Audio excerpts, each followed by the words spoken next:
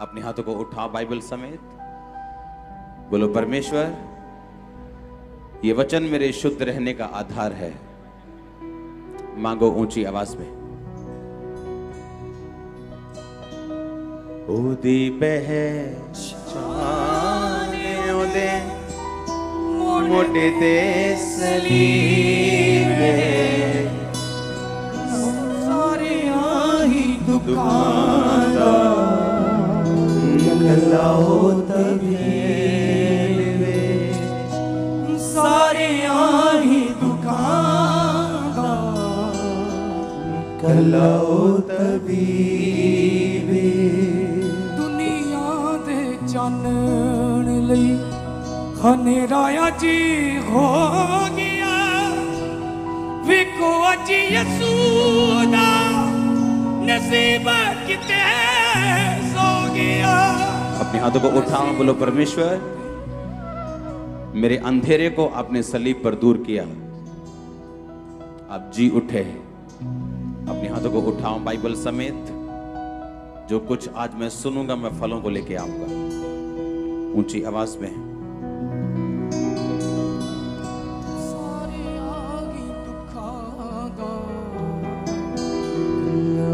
ਸਾਰੇ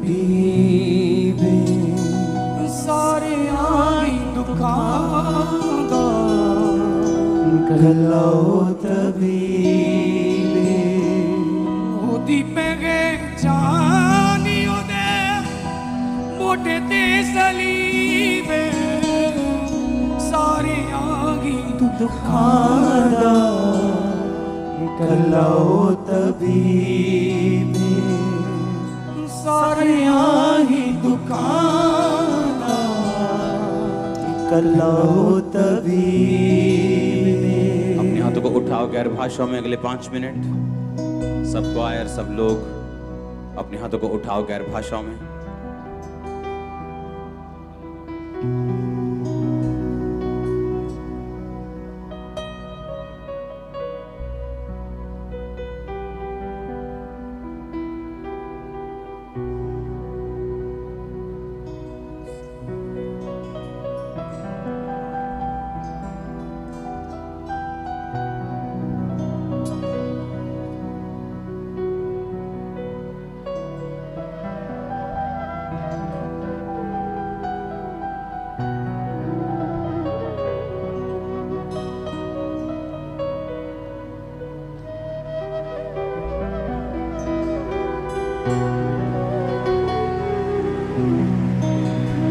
अपने हाथों को उठाओ, आप जहाँ से भी देख रहे हैं, जिस देश से भी देख रहे हैं अपने हाथों को उठाओ, अपने अपने देश के लिए प्रार्थना करेंगे, अपने हाथों को उठा के। जिस देश से आप देख रहे हैं, जिस कंट्री से आप देख रहे हैं, अपनी कंट्री के लिए अपने हाथों को उठाएँगे। बाइबल कहती है, एक अच्छा क्रिश्चियन एक अच्छा सिटीजन भी होता है। अपने हाथों को उठाओ, अपने देश के लिए प्रार्थना करो, अपने पाँच पाँच मिनट अपने हाथों को उठा के।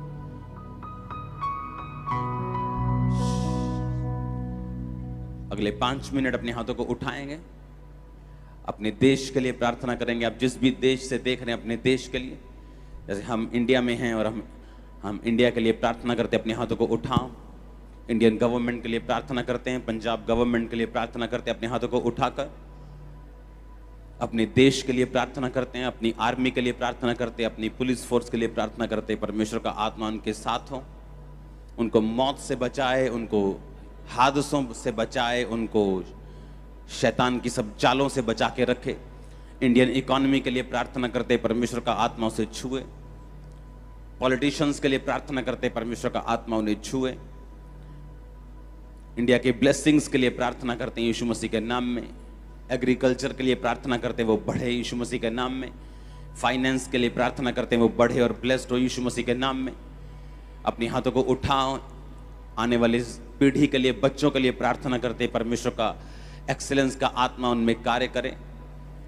लोगों की अवेयरनेस के लिए प्रार्थना करते यीशु मसीह के नाम में। खुदावंद का आत्मा बड़े कार्य करे। आमीन। ऊँचा, ये आशीष हमारी है। स्वागत है स्वागत है चर्च। हालेलुया। आई थिंक ये पहला संडे है। ये ये पहला संडे है जब हम कंप्लीट हॉल में बैठे हैं। तो अभी आपको ये ऐसा दिख रहा है, ये ये ये चार पिलर जो बीच में दिख रहे हैं, ये भी निकल जाएँगे। ये पिलर पे नहीं खड़ा, ये अपने आप खड़ा है, बिल्कुल। ये दुनिया के लिए एक अजूबा है। मैं जहाँ भी गया हूँ, उनको विश्वास नहीं होता कि इतना बड़ा हॉल बिना पिलर के बन सकता है क्या? हालेलुया। इस स्वागत के लिए जो आपने मेरा किया आपका थैंक्स बहुत बहुत बचता रहा हूँ मैं स्वागत से। आज भी बचने की पूरी कोशिश की पर अमेरिका में बच नहीं पाया मैं। उन्होंने पकड़ लिया मेरे को। और मुझे बोले कि जब आपको अंग्रेज़ लोग जब आपको हार डालें आपका स्वागत करें इसे उतारना मत नहीं तो वो सोचे कि आपकी इंसल, उनकी इंसल्ट हो रही। तो मैंने डाल के रखे उधर कितनी देर। आमीन अमेरिका टूर एक ब्लेस टूर था। बहुत से लोग जो प्रेसिडेंट्स के साथ काम करते हैं बाइडन के साथ काम करते हैं ट्रंप के साथ काम करते हैं उनके साथ मुझे बैठने का और अपनी गवाही को मैंने उनको दिया और सब एक्साइटेड हैं आपके पास आने के लिए। हालेलुया और दुनिया को मालूम हो रहा है कि इंडिया में भी ऐसे लोग हैं इंडियंस भी ऐसे हैं जो चैरिटी कर सकते हैं, जो काम कर सकते हैं, जो परमेश्वर के काम को आगे लेके जा सकते हैं। तो हमें जो परमेश्वर का नाम है वो भी ऊँचा हो रहा है और हम अपने देश के नाम को भी ऊँचा कर रहे हैं, ये हमें हालेलुया अपने हाथों को उठाओ। बोलो, मसीह में की गई मेहनत कभी व्यर्थ नहीं जाती। प्रभु यीशु मसीह के सामर्थ्य नाम में हम मांगते हैं। आमेन। आपको जब भी परमेश्वर में कुछ करना है विदाउट एक्सपेक्टेशन करना है।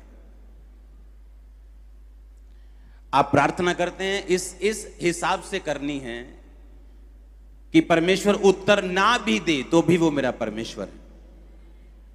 आवाज़ सुनते हैं पीछे। हाथों को हिलाओ अगर समझ आ रही है तो लास्ट तक। जब हम फास्टिंग करते हैं, इस हिसाब से करनी है कि अगर मुझे उत्तर ना भी आए तो भी वो मेरा परमेश्वर है। मैं आपको हार्ट बता रहा हूँ परमेश्वर का। मैं आपको वो तरीका बता रहा हूँ जो कभी फेल नहीं हुआ बाइबल में। हमें परमेश्वर को यूज़ नहीं करना। हमें परमेश्वर को इस्तेमाल नहीं करना। हमें परमेश्वर को एक इंस्ट्रूमेंट नहीं समझना, चंग्याई का, बरकत का, जिसे हम आए और इस्तेमाल करें और इस्तेमाल करने के बाद चले जाएँ। जब लोगों को स्टपनी आदत करने की बहुत आदत होती है, कि पेंचर हो गया, स्टपनी निकाल लो, गाड़ी का ध्यान नहीं रखा तो किसी दिन स्टपनी भी पेंचर निकलती और आप सड़क पर खड़े हो जाते यीशु मसीह को इस्तेमाल नहीं करना। बाइबल में लिखा, मसीह में की गई मेहनत कभी भी व्यर्थ नहीं जाती। जब हम यहाँ पे चैरिटी का काम कर रहे थे, कोविड का काम कर रहे थे, कोविड के उस टाइम में जहाँ पर आप भी जानते हैं, अप्रैल जब, अप्रैल, मार्च में जब 2020 में जब पहला लॉकडाउन लगा और सब एनजीओ, सब लोग, सब यहाँ तक कि बहुत से मैन ऑफ़ गॉड भी छुप गए थे और नज़र नहीं आए थे। तब हम सड़कों के ऊपर थे पंजाब पुलिस के साथ। आपको मालूम है। एवरी डे रोज रोज रोज रोज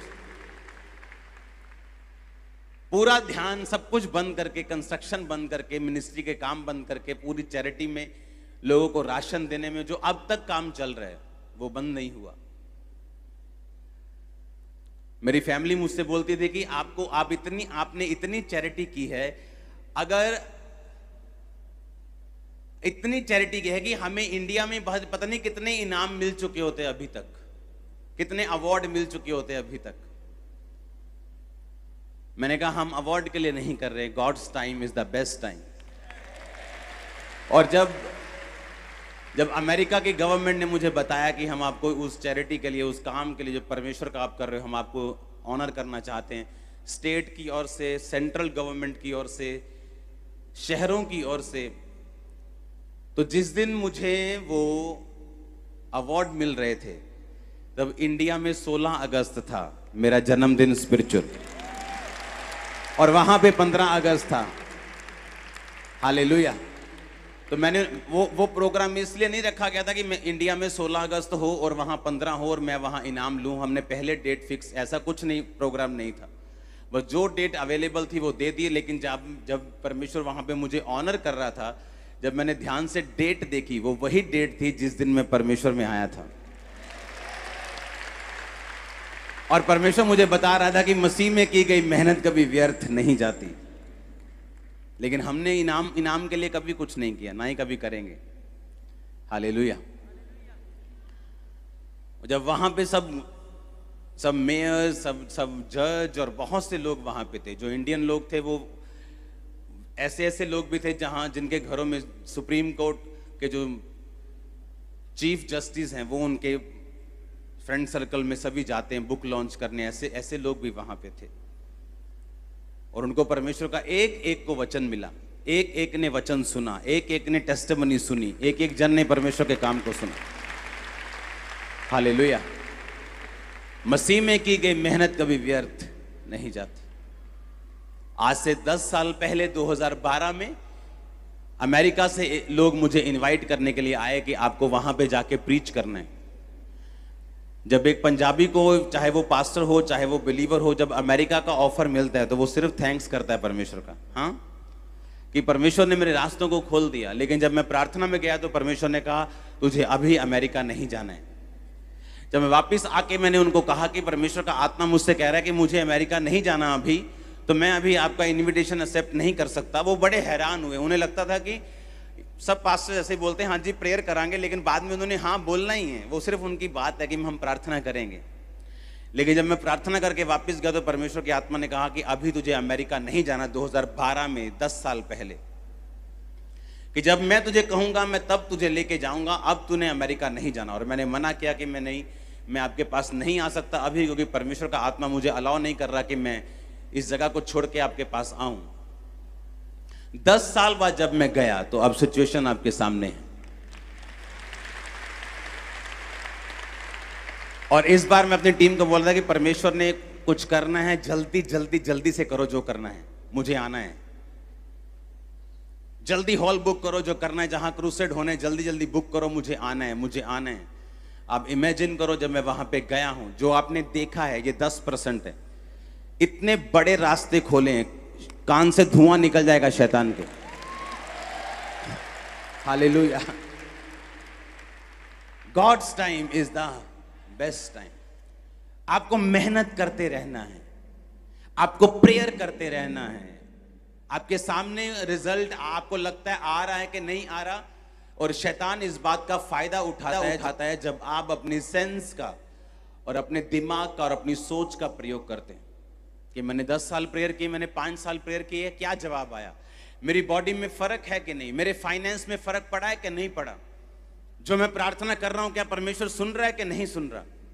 कई बार हमें रिज़ल्ट की परवाह नहीं करनी, हमें वचन पे खड़े रहना है कि परमेश्वर कहता है, मुझमें की गई मेहनत कभी भी व्यर्थ नहीं जाती। ये हंड्रेड परसेंट पक्का है आपके साथ होगा। मैंने ऐसे लोग देखे हैं टाइट देने वाले आज नहीं, दस साल में रिज़ल्ट आता है, बारह में, पंद्रह में रिज़ल्ट आया।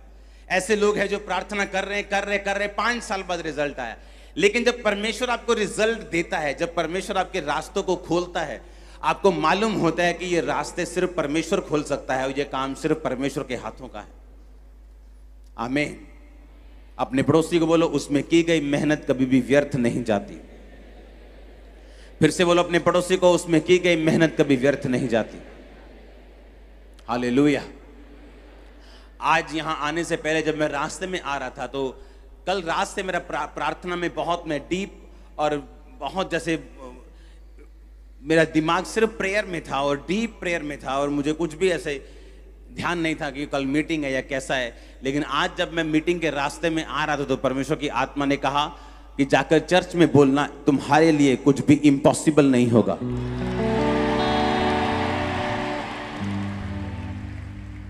और मसा यहाँ पे मौजूद है इम्पॉसिबल को पॉसिबल करने का, जो कभी नहीं हुआ, जो आपके परिवार ने कभी नहीं देखा, जो जो आपने कभी इमेजिन नहीं किया, आप उसे रिसीव करेंगे यीशु मसीह के नाम में हालेलुया हालेलुया मसीह में की गई मेहनत कभी भी व्यर्थ नहीं जाती। जो हमने मेहनत की, हम करते गए करते गए करते गए। परमेश्वर की आवाज़ को सुना, क्योंकि हर एक अच्छा रास्ता परमेश्वर की ओर से नहीं है। हर एक ओपन दरवाज़ा परमेश्वर की ओर से नहीं इसीलिए बहुत से लोग समझ नहीं पाते कि मुझे क्या कब करना है, लेकिन जिनके रिश्ते परमेश्वर के साथ और जो अपने अगुओं के साथ वफादार होते हैं, परमेश्वर उनके रास्तों को खोलता है। ये मैंने मैंने मैंने ये नोटिस किया अपनी लाइफ में। हालेलुया जो काम परमेश्वर ने अब लेने थे, अगर मैं बारह में जाता तो शायद ये काम नहीं होता, मुझे मालूम है। हालेलुया उसमें की गई मेहनत कभी भी व्यर्थ नहीं जाती।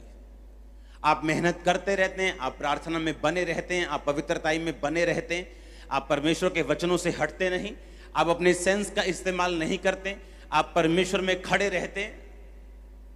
इमेजिन करो सेंस का इस्तेमाल करता करता नमान कोड़ी।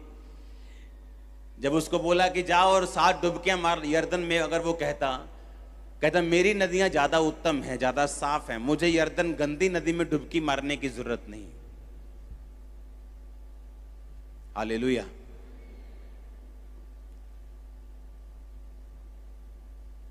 कई बार हम कंफर्टेबल प्लेस ढूंढते हैं। वो चर्च जहाँ पे लाइनों में लगना ना पड़े। आराम से बैठ जाओ, कि खुदा का घर ही है। हाँ? जहाँ पे आने आने जय मसीह की ओर जाने वक्त भी हाथ आपसे मिलाकर आपके लिए ले हैंड करके जब भी डाल के आपको आपको वैसा पसंद है। और ऐसे नमान को पसंद था।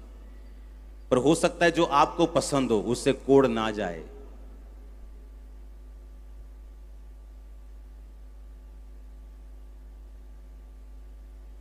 और नमान को यह मुश्किल लग रहा था कि यर्दन नदी में मैं एक सेनापति हूँ, मेरा एक अहदा है, मैं एक ज़बरदस्त आदमी हूँ, लेकिन मुझे गंदी नदी में सात डुबकियाँ मारने के लिए बोल दिया गया।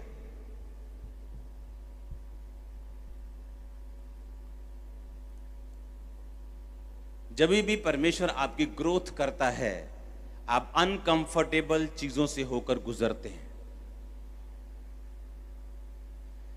जब भी वो आपको अगले लेवल पे लेके जाता है, आपकी लाइफ में कुछ अनकंफर्टेबल आपको महसूस होता है।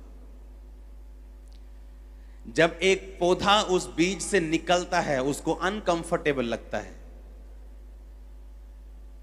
ग्रोथ हमेशा अनकंफर्टेबल फील करवाती है आपको। लेकिन अगर आपको ग्रोथ नहीं करनी, आपको ब्लेसिंग नहीं लेनी, आपको एक ही जगह पे रहना है, फिर आप कंफर्टेबल होकर जहाँ भी है, वहाँ रह सकते हैं। लेकिन अगर आपको कुछ करना है जो पहले कभी नहीं हुआ, आपको अपने कंफर्ट जोन से बाहर आना पड़ता है। और बाइबल कहती है, नमान जब जा रहा था गुस्से में तो उसके जो असिस्टेंट था, उसने बोला कि अगर वो आपको बड़ी मुश्किल बात कह देता तो तब भी आप करते ना। तो अब क्यों नहीं आप कर सकते? सात डुबकियाँ मारनी है, मार के काम न बिड़ो और बाइबल कहती, जैसे ही सातवीं डुबकी वजी उसका शरीर बच्चों के समान साफ़ हो गया। परमेश्वर के लिए कंफर्ट से बाहर आओ। हालेलुया एक बार विरोध हो गया तो हम डर जाते, नहीं, अब हम सुसमाचार सुनाने इस गाँव में नहीं जाएँगे। क्योंकि विरोध हो गया। आपको कंफर्ट चाहिए। कंफर्ट में ब्लेसिंग नहीं है।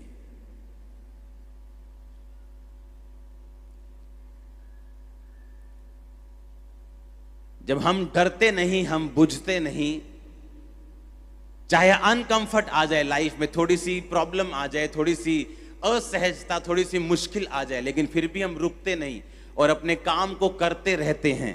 ब्लेसिंग के हकदार होते हैं फिर आप। और यही बात नमान को लग रहा था कि मुझे मुझे कंफर्ट में रहना था। मेरे अंदर मुझे बुलाता, अपने घर में मेरे पे तेल लगाता, मेरे सिर पे हाथ रखता, मुझे हील करता चाय पानी पिलाता, मैं उसको लाखों रुपए देता और मैं आ जाता। ये उसका प्लान था, लेकिन ज़रूरी नहीं, जो आपका प्लान है, वो परमेश्वर का भी प्लान है।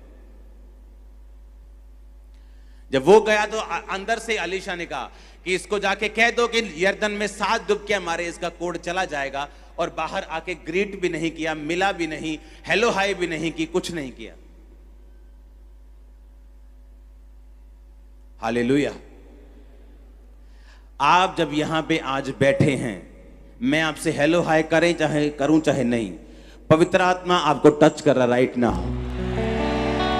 आप जब वापस जाएँगे, अपनी डिलीवरेंस के साथ जाएँगे। आज से लेकर सात संडे हम डिलीवरेंस संडे करेंगे, परमेश्वर ने कहा।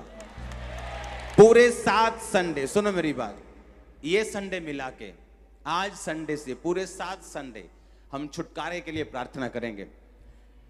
अगले सात संडे तक आपको लगातार मीटिंग अटेंड करनी है और सेवंथ संडे आज से लेके सात संडे ऐसी टेस्टमनीज पैदा होंगी आपकी लाइफ में।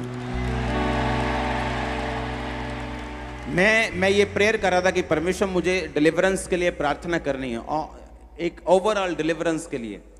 तो परमेश्वर का आत्मा मुझे रोक रहा था, अभी नहीं अभी नहीं अभी नहीं अभी नहीं। तो आज से वो शुरू होगा। हर संडे, सात संडे, सुनो मेरी बात, ये सात संडे आपके छुटकारे के होंगे यीशु के नाम। आपको इन सात संडेज में 40 42 दिन जब भी जैसे बनते हैं, आपको प्रेयर में रहना, फास्टिंग में रहना, चर्च अटेंड करना भूलना नहीं, बाकी सब कामों को पीछे छोड़ दो ये सात हफ़्ते। जस्ट लगातार खुदा की हजूरी में, और जो मैंने आपसे बोला, वो करने के लिए आप लगातार तैयार हो जाओ। और आप फ्री होके वापस जा रहे हो। हालेलुया। मैं आपको डिलीवरेंस में लेके जा सकता हूँ, क्योंकि मैंने वो डिलीवरेंस पाई है परमेश्वर से। वो शरीर में भी पाई है, वो स्पिरिट में भी पाई है फाइनेंस में भी पाई है, वो लोगों से पाई है, गलत लोगों से पाई है। मैंने हर तरह के डिलीवरेंस को टेस्ट किया है। ये सात हफ़्ते में आप मल्टीपल डिलीवरेंस को टेस्ट करेंगे अपनी लाइफ गलत लोगों से आप छुटकारा पाएँगे आप गलत सिस्टम से छुटकारा पाएँगे, बीमारियों से पाएँगे दुष्ट आत्माओं से पाएँगे, गरीबी के श्राप से पाएँगे, परिवार के श्राप से पाएँगे। आमीन। आमीन। आप इस छुटकारे को लेंगे यीशु मसीह के नाम में। हालेलुया। पहला कुर- कुरंथिया पंद्रह, उसकी अठवंजा आयत को आप घर जाके पढ़ेंगे दोबारा से जो मैंने आपको बोला है। मसीह में की गई मेहनत कभी भी व्यर्थ नहीं जाती। आमीन।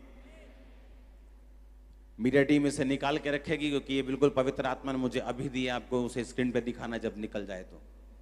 अपने पड़ोसी को बोलो, मसीह में की गई मेहनत कभी भी व्यर्थ नहीं जाती। आमीन। अब आपको ये बात समझनी है कि अब अब अब सात हफ़्ते में आपको डिलीवरेंस के ऊपर और किस तरह से परमेश्वर से हमने छुटकारों को लेना है, मैं आपको इसके ऊपर वचन दूँगा। आप तैयार हैं क्या? मैंने कहा, आप तैयार हैं कि नहीं? और अगर ये वचन आपने पकड़ लिया और आप इस हिसाब से चलते रहे, आप बड़े से बड़े बंधन को तोड़ तोड़कर वापस आ रहे हैं। बड़े से बड़े, वो आपके बेटे का हो, वो आपके नशे का हो, वो आपके कर्जे का हो, आप उसे तोड़ देंगे यीशु मसीह के नाम हालेलुया। हालेलुया। अपने पड़ोसी को बोलो, बने रहो। अड़े रहो और खड़े रहो। आमीन।